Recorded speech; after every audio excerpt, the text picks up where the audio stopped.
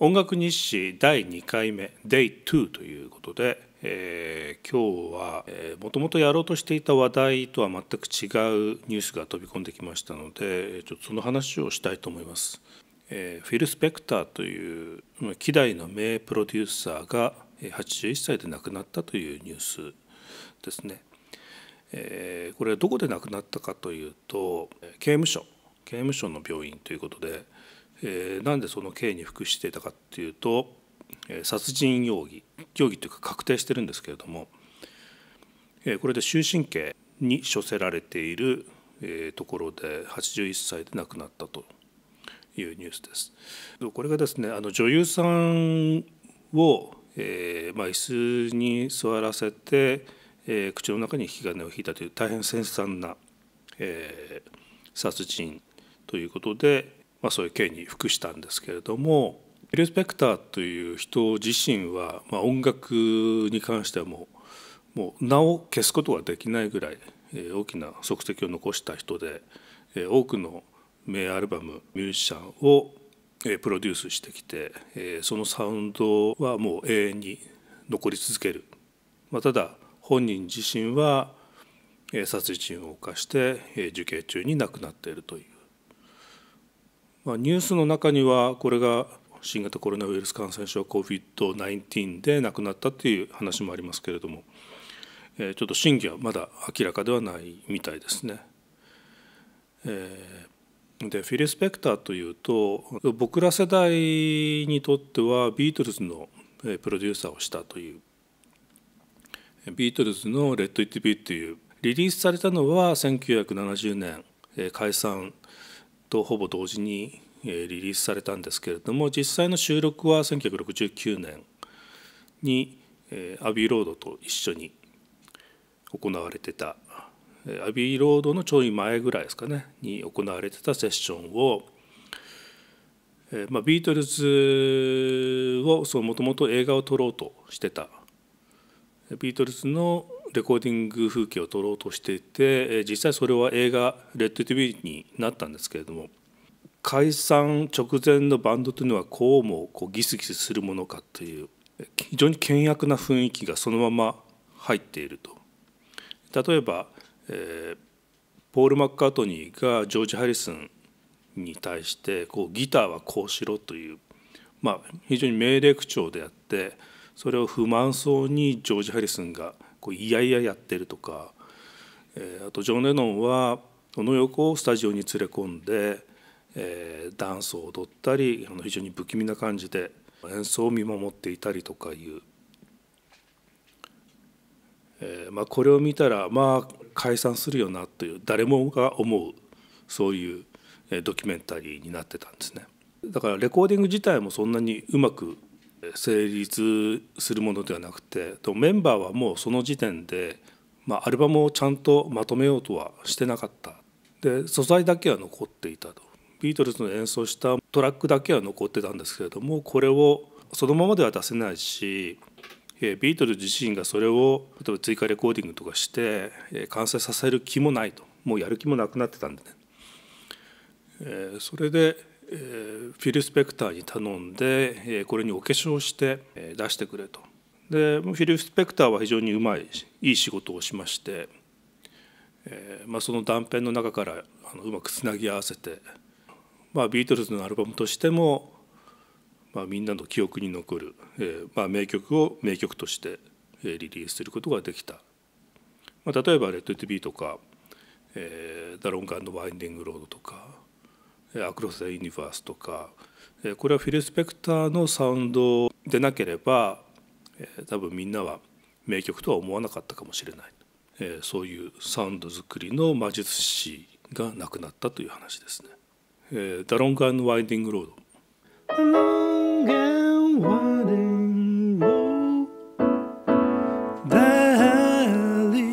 というこれなんかはもともとシンプルなバラードなんですね。後の感想のところはビリー・プレストンによるオルガンがこう薄く入ってるような感じで、えー、だけれども「レッド TV」のアルバムに入ってるものはフィル・スペクターが、えー、女性コーラス第二図のコーラスとか、まあ、派手なオーケストレーションとかあのメロディーとしてはとか、えー、こういうメロディーが、えー、ストリングスで演奏されている。そこをポール・マッカートニーは大変不満に覚えててその後にあのポール・マッカートニーウィングズのバンドで演奏してた時にはそこのストリングスの部分をホーンセクションで代替したりとかいろいろアレンジを変えてで最終的にはビートルズの正式アルバムとして「 Let It Be」のフィル・スペクター成分を全部剥ぎ取った「 Let It Be Naked」というアルバムも出しました。でそこで見ると、まあ、ビートルズというよりはポール・マッカートニーが出したかったサウンドになってると思います。まあ、その2つを比較してるとフィル・スペクターはどういう仕事をしたのかっていうのがはっきり分かっていいんじゃないかなと思いますね。でフィリップ・スペクターがどういう音作りをしていたかっていうとこれがウォール・オブ・サウンドと呼ばれる音の壁という技法で、まあ、それを発明したというふうに言われてます。まあ、この「ウォール・オブ・サウンドは」例えば日本のアーティストだと、まあ、大竹栄一山下達郎といった大変分厚いサウンドなんですけれどもピアノ例えばこういうこれは単なるピアノじゃないですか同じフレーズを何回も重ねたりとかで場合によってはピアノだけじゃなくてこれをエレクトリックピアノハープシコードこれを同時に出してでそうするとそのハープシコードだかピアノだか、まあ、ちょっととんがってるなとだけどエレクトリックピアノのような広がりがあるなという効果的でよくわからないけれども音の厚みがあるっていうふうな工夫を積み重ねてるんです。でオーケストラも多分何回も録音を多重録音をして、えーまあ、実際の編成よりも大きな広がりになるサウンドにしてるんじゃないかなと思います。でさらにあのエコーチャンバーリバーブを対応してまして大変深いサウンドですね。なんで奥行きがあって、えーまあ、そこにはドンドンというあのティンパニーの響くサウンドが入ってたりとか「まあ、Be My Baby」とかねあのそうですねロネッツのこれフィル・スペクターの初期のプロデュース作品としては一番知られている大ヒットして、まあ、それ以降は、えーまあ、スペクターサウンドを使いたいというアーティストがこう続々と出てきて偉大なプロデューサーでした。もともと最初からプロデューサーだったわけではなくて、えー、フィル・スペクターは最初のバンドがテディ・ベアーズっていうバンドで1959年に、えー、一応ヒットを出しましてそれがねこういう「To know, know, know her is to love, love, love her」女性ボーカルなんですよ。女性ボーカルと男性2人の構成で女性ボーカルなので歌詞が「To know him is to love him」日本語訳がですねちょっと面白くて「会った途端に一目惚れ」という 大変語呂の良い、まあ、もう一つねえ別のタイトルがあってそれは「募る思い」と、まあ、そっちの方がえー、洒落てるんですけれども僕は会った途端に一目惚れっていうのがお気に入りのフレーズで。でこれはねビートルズの初期のレパートリーの一つビートルズが初期のライブでは「To know him」っていうのを「To know her」に、え、置き換えて「To know her is to love her」というタイトルで、えーまあ、歌詞も変えて、えー、演奏してましたこれはポール・マッカートニーが好きそうな、えー、曲ですよね。To know, know, know her is to love, love, love her. Just to see her smile makes my life worthwhile. To know, know, know her is to love, love, love her. And I do, and I do, and I do, and I do, and I do, and I do, and シャララララララという、えー、こんな曲です。えー、でまああとはね、え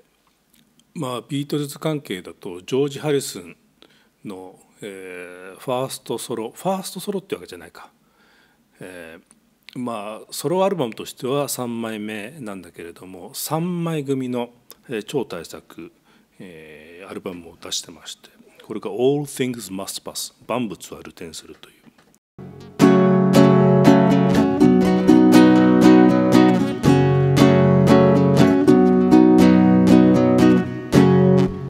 マイスイートロードか、マイスイートロード。これも、えー、ドラムとかドラムこれ2人なんですよね。リンゴ・スターとジム・ケルトナーかな。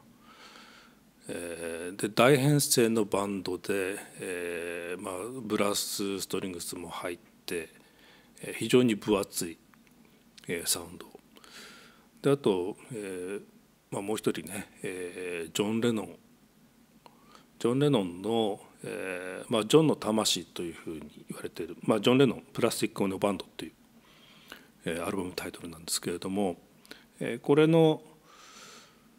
プロデュースそしてセカンドアルバムセカンドこれもセカンドって言っていいのかな「えー、イマジン」えー、この2つのアルバムのプロデュースで、えー、有名です。実際はもう一つ、えー「ロックンロール」という、えー、ロックンロールのカバーアルバムもあるんですけれどもこれがまた大変なことをしでかしまして、えーまあ、途中でねレコーディング途中で交通事故に遭うんですけれどもその後そのアルバムのトラックを、えー、持ち逃げしてしまうという。えジョン・レドンには渡さなくて そのまま雲隠れしてしまったというえ何を考えてるんだこの人はということをやってたですよね。でおかげで、えー、このロックンロールのアルバムレコーディングは73年ぐらいに終わってたらしいんですけれども、えー、2つぐらいリリースが遅れたのかな。えー、で結局出た時にはあの When the night has come, when the night is dark, and the moon is the only light we see. この「スタンド・バイ・ミー」が入ったアルバム「ロックンロール」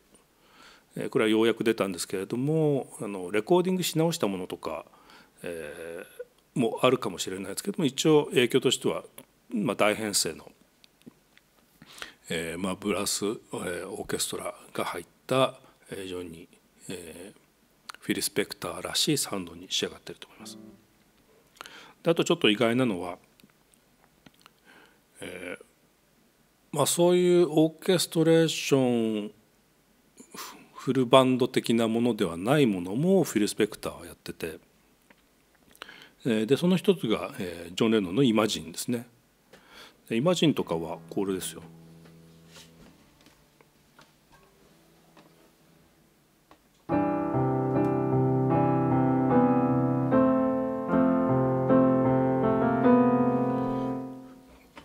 こういう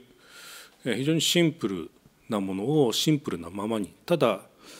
えーまあ、エコー処理、えーロングディレイが入って、えー、音頭としては非常にこうぶわっとしてるした感じなんですけれども、まあ、それがあの棒葉とした、雰囲気に非常にマッチしてて、えー、僕はとてもいいと思います。Imagine there's no heaven. It's easy if you try. はい、えー、このフィル・スペクター、まあ、まあ器用方変というか最後になんでそんなことをしでかしたのかよくわからないですけれども、まあ、実際銃を持ち歩いていてラモンズのプロデュースの時には銃で脅したりとか、えー、いろいろ変なことをやってたみたいで、えー、鬼人としても知られているんですけれども、えー、彼の生み出したサウンド自体は大変素晴らしく昨日寝る前にはえー、彼のプレイリスト明日の音楽にしては何を喋ろうかとか思いながら寝てる間に見た夢は猫がトイレにおしっことうんこをたくさんして水浸しにするという、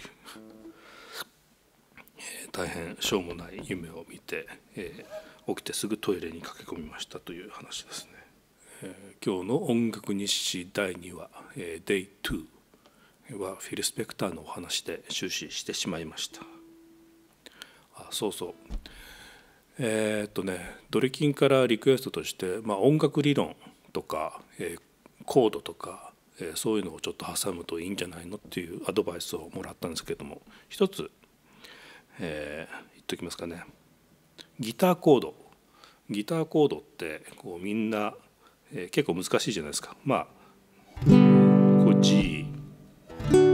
D C E マイナーまあ G のキーだと、まあ、この辺を使えばいいんですけれども、えー、じゃあね何も押さえなくていい、えー、コードがあったらいいのにとこう誰もが思うと思うんですね。えー、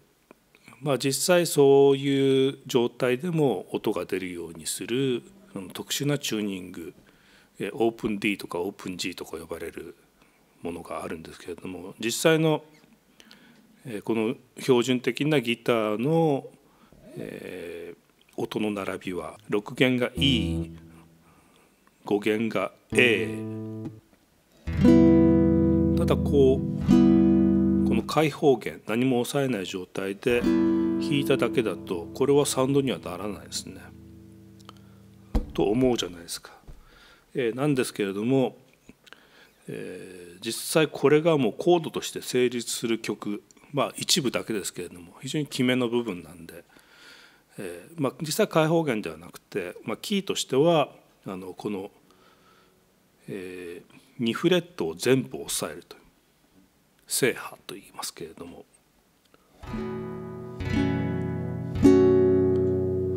これがこれがキーポイントとして出てくる曲があるんですね。さあ今日紹介した中にそのヒントがあるんですけども分かりますか？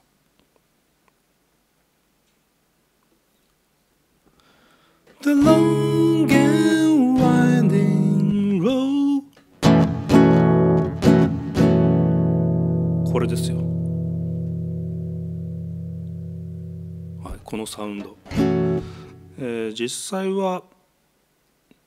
えー、なんだろうな。A, A ベースが B A オン B という感じですかね。まあそれに、えー、6, コ6コードが入ってるのかな。6度のコードが入ってるのかな。音が入ってるかもしれないです。Valley